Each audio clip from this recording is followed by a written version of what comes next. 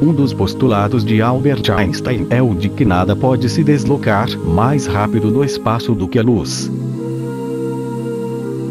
Ele deve ter causado um maior alvoroço na comunidade científica da época, porque a afirmação se choca, no primeiro momento, com a forma instantânea com que a nossa visão abarca toda a da celeste, numa noite escura e sem nuvens.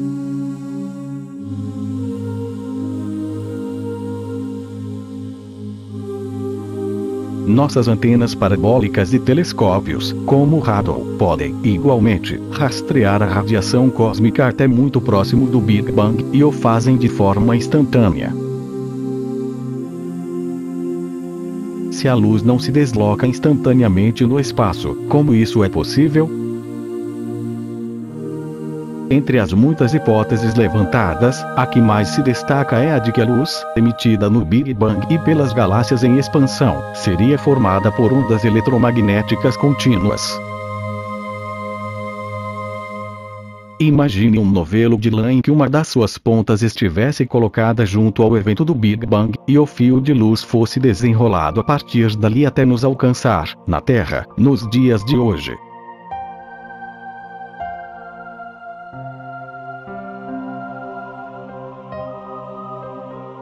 Então, seria justificável imaginar-se que tanto faria se a luz fosse seguida no sentido ou no outro. Ou seja, o Big Bang estaria no nosso passado, porque teria sido de lá que a luz teria partido.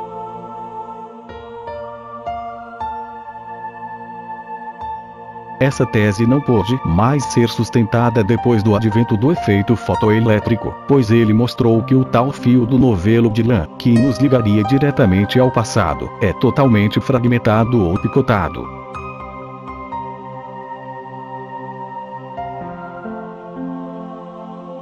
Quando introduzimos um novo elemento no contexto, representado pelo observador isolado dotado com uma memória, algumas coisas começam a fazer sentido.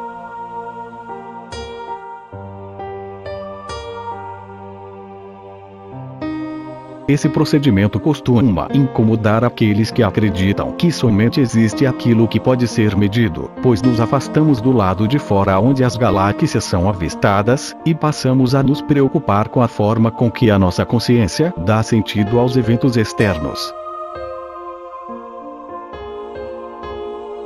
Não se pode cogitar, sem provocar risos disfarçados, que o nosso cérebro pudesse ser capaz de criar a realidade.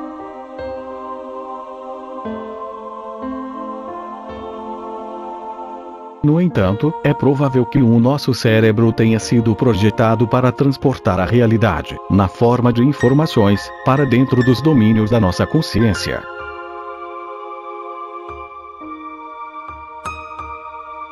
Quando o fizesse, subentende-se que isso jamais aconteceria em tempo real, pois precisamos de padrões e estereótipos comparativos que possam ser revisitados a qualquer momento e que passarão a compor a nossa memória.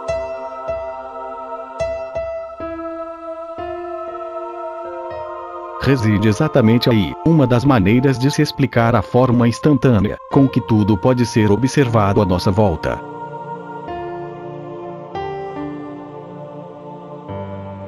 É difícil admitir que a nossa consciência pudesse estar atuando de forma intermitente no nosso dia a dia, simplesmente porque nada existe fora dela.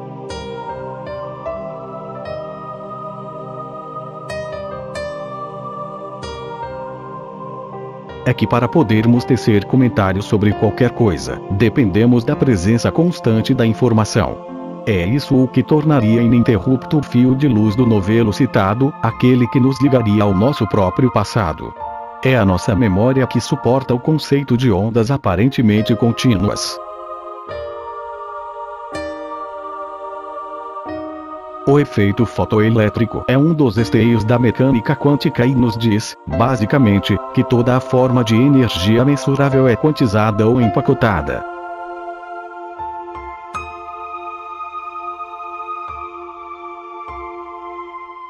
Além disso, o processo da quantização seria atemporal, já que quando um fóton atinge um elétron e o quantum se espalha, ambos aparecem simultaneamente, sem que nenhum intervalo mensurável de tempo os esteja separando.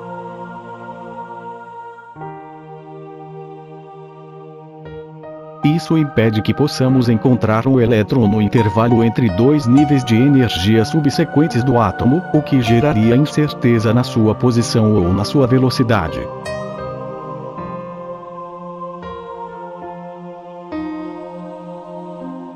Como o tempo da quantização não existe ou não pode ser medido diretamente, e nós precisamos da luz espalhada para ver a partícula, torna-se irrelevante saber qual teria sido a distância percorrida anteriormente pelo fóton de luz, até o seu espalhamento.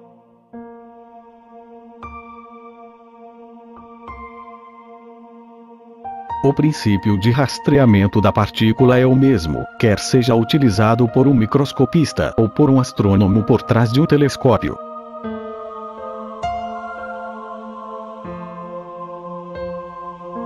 De qualquer forma, ainda persiste a nossa vaga sensação de que teria havido um antes e um depois do espalhamento, o que não pode ser confirmado ou desmentido.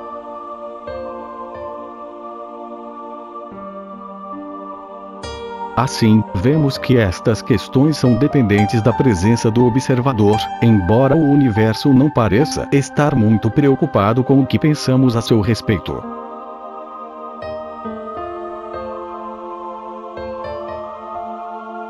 As cogitações sobre os 13,7 bilhões de anos que nos separariam do Big Bang resultam de avaliações tardias, ou que teriam acontecido depois do espalhamento da radiação cósmica, por isso ela é denominada, apropriadamente, radiação cósmica de fundo.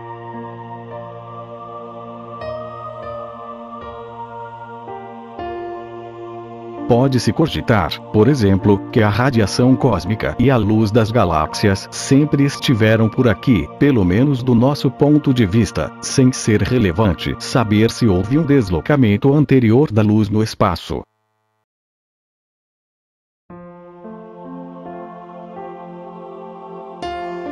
De qualquer modo, a luz teria que ter sido submetida previamente a um processo de empacotamento local que lhe permitisse ser registrada pelos nossos sentidos.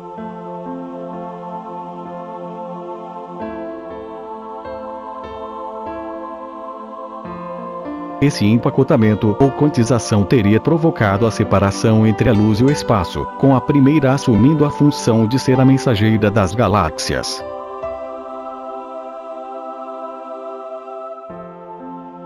A velocidade de 300 mil km por segundo, que é atribuída à radiação cósmica, seria parte desse pacote, assim como o efeito Doppler.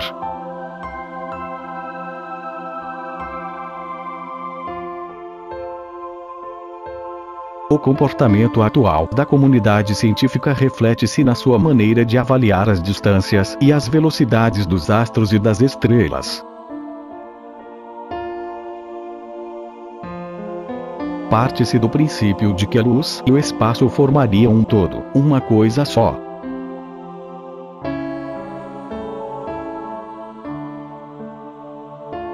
Assim, se você seguisse a luz na direção do passado alcançaria o ponto correspondente no espaço, ocupado por uma estrela.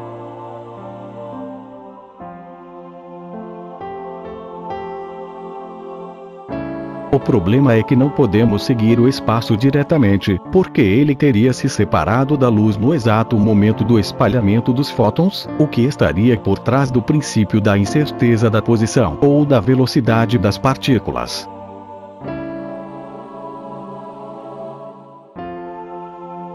Quando se analisa o espaço através da luz e da radiação cósmica como um todo, ele passa a assumir o mesmo comportamento de uma tira elástica, que é o que define as fases do movimento harmônico da radiação.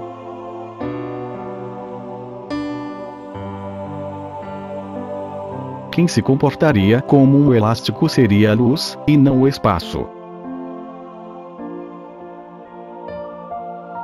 Isso teria gerado uma série de avaliações equivocadas em relação ao espaço, que agora estaria na dependência do seu mensageiro, de comportamento totalmente diverso.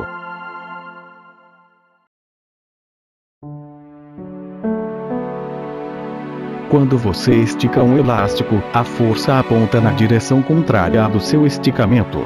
Isso atribuiria ao vazio do espaço uma energia negativa durante a fase expansionária do universo, tal como aconteceria numa implosão.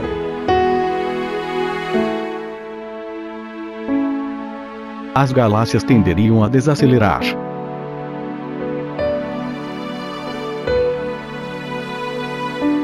C, por outro lado, você deixasse o elástico livre para relaxar, a força também apontaria no sentido contrário, resultando em aceleração.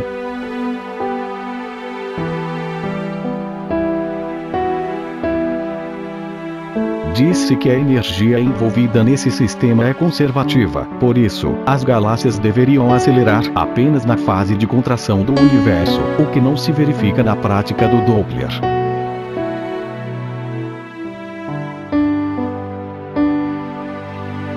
Conclui-se que, devido a estarmos submetidos ao império da radiação eletromagnética, haveria um princípio de exclusão entre as fases do movimento harmônico da luz. Estaríamos vendo as galáxias afastando-se umas das outras, mas fora do seu próprio tempo.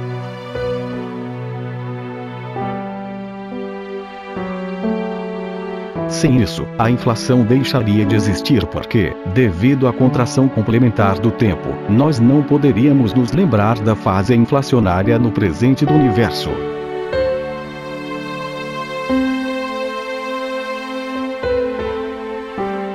seria necessário que houvesse uma inversão no sentido da seta do tempo, junto ao observador, e que ela, mesmo de forma aparente, passasse a apontar na direção do passado.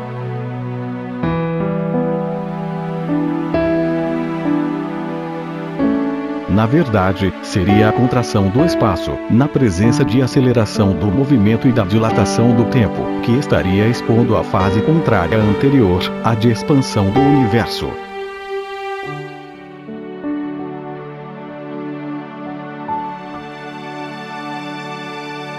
Por atuar a exemplo de um imenso apagador de informações, mesmo que elas ainda permanecessem lá, a expansão, seguida da contração complementar do tempo, teria misturado os efeitos distintos das duas fases do movimento harmônico da luz.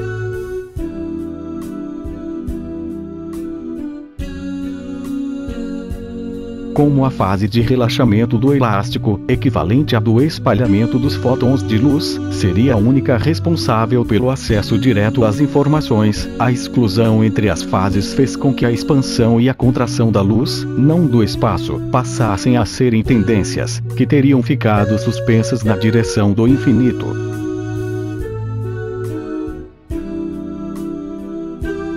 Assim, isso iria de encontro à hipótese de Einstein, de que o universo deveria mesmo ser estático.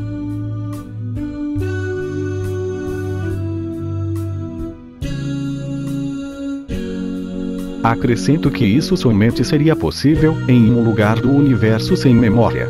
Ou onde o tempo não pudesse ser medido diretamente.